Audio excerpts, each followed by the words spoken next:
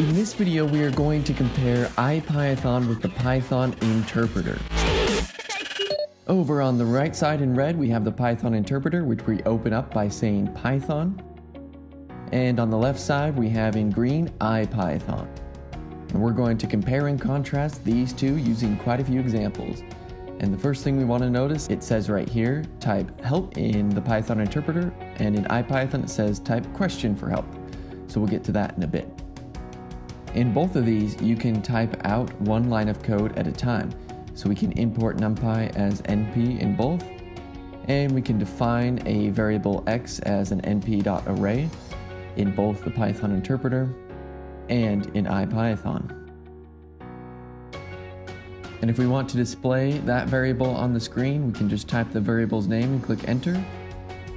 And click enter. And you notice that in IPython it has the word out, where in Python interpreter it does not. Now let's get into how to use the help function. In Python interpreter, you type the word help and can put in whatever you want. So in this case, np. And in IPython, we can type np question mark. Now these bring up almost the exact same thing. You'll notice the name and description is a little bit different but then what it provides and everything else below that seems to be the same.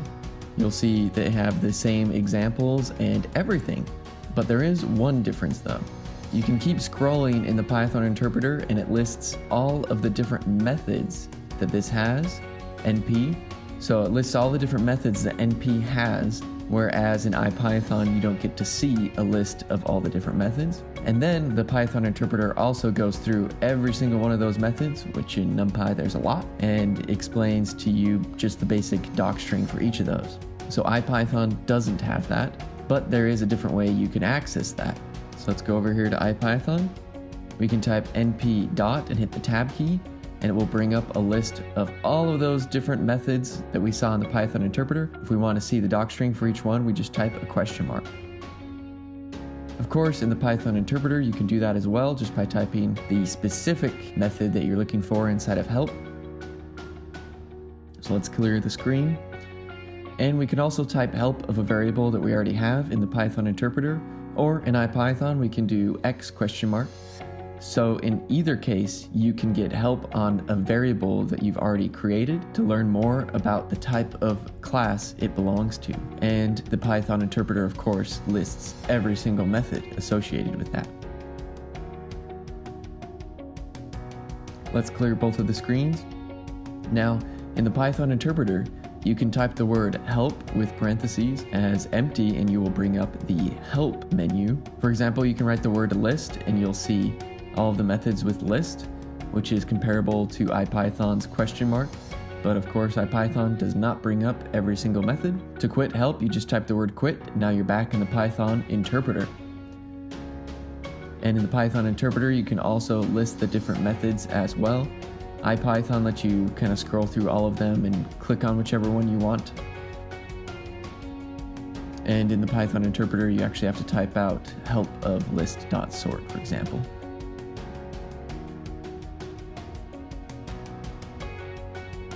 And in NumPy, you can see there's a lot more methods that you can list both in IPython and in the Python interpreter. And if we wanted to learn more about np.where, we do a question mark in IPython, or we type help of np.where. I think you're starting to catch on kind of the difference of how you use the two. Now let's do a little bit of coding in both. For example, in IPython, we can type for i in x and we can print x. And in the Python interpreter, if we try that exact same thing, we're actually going to get an error because the Python interpreter did not tab over for us or do four spaces over for us. So we have to do four spaces before we print X, and now we have the same thing on either side. So just make sure you need to indent. So in IPython to quit, you type the word quit, and in Python interpreter to quit, you type quit with empty parentheses. So there you have it. That is the difference between IPython and the Python interpreter. Depends on what you prefer. In my case, and if you've watched a lot of my videos, you know that I prefer IPython, but whatever you like works for you. Thanks for watching and please check out some of my other Python videos for more Python coding content.